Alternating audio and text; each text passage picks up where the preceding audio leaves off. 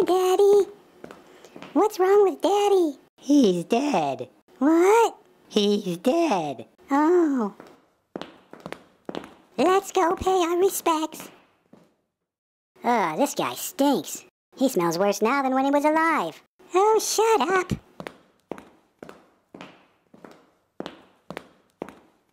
Hey, this guy owes me money. Well, you'll just have to let it go. No way. I'm taking something. What are you doing? Uh, uh, there. Now we're even.